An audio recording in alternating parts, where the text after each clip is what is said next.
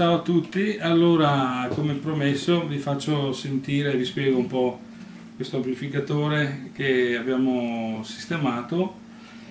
Questo è un eh, Eco Super eh, del 1960, è praticamente un box AC30 che costruiva la Eco appunto per la Vox eh, negli anni 60 Sto cercando di capire anch'io come funziona perché è un po' particolare. Allora io andrei a vedere subito gli ingressi. Abbiamo un ingresso allora, ad alta impedenza, bassa impedenza, cioè sono insieme praticamente.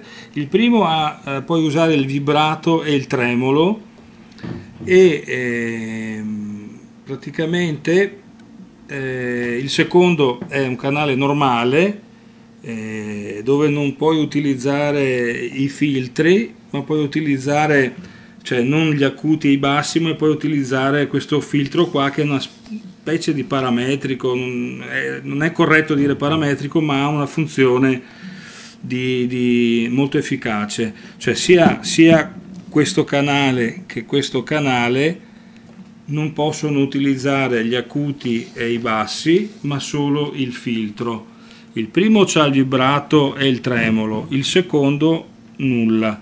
Il terzo, diciamo, è il canale che sicuramente sarà il più usato, puoi utilizzare eh, sia gli acuti che i bassi che il filtro, però non puoi utilizzare il vibrato e, e il tremolo, così è stato progettato.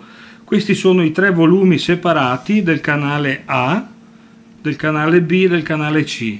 Eh, niente, adesso io... Oh, vi farò sentire appunto il, il suono registrato con, con un microfono eh, di 112 che è un microfono usualmente che si usa per i bassi o per, per, la cassa ma che comunque si può usare anche per la chitarra e che dà un po', un po di corpo enfatizzato un po' sulle basse frequenze.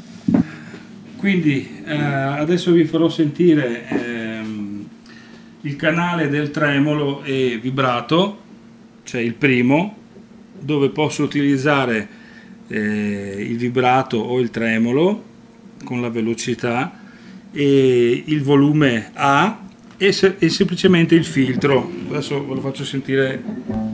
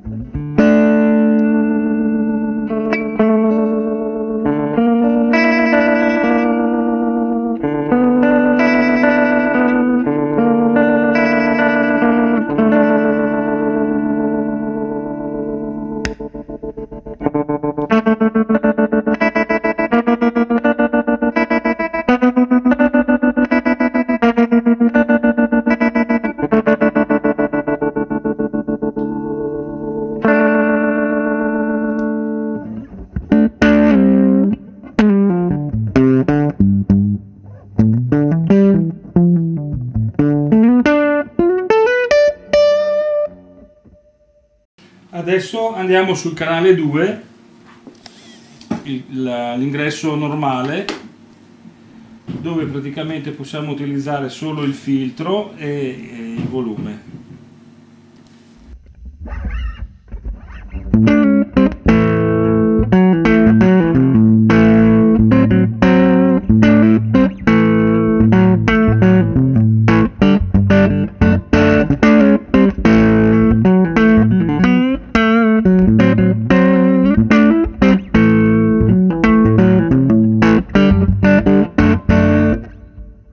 Ovviamente sto suonando a basso volume perché eh, cioè non è che in realtà lui suona molto molto più forte.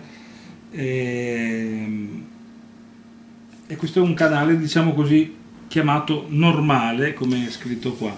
Adesso andiamo sul canale eh, quello brillante cioè quello dove puoi utilizzare i bassi gli acuti e, e il filtro e sicuramente molto più divertente perché hai molte più possibilità.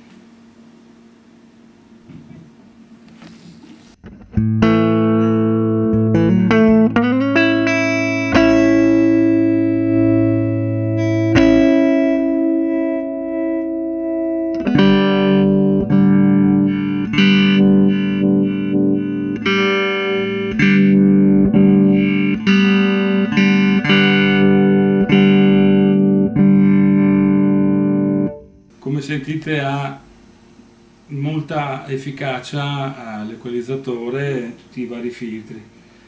Adesso che dire adesso proverò a farvelo sentire magari su una base che abbiamo fatto.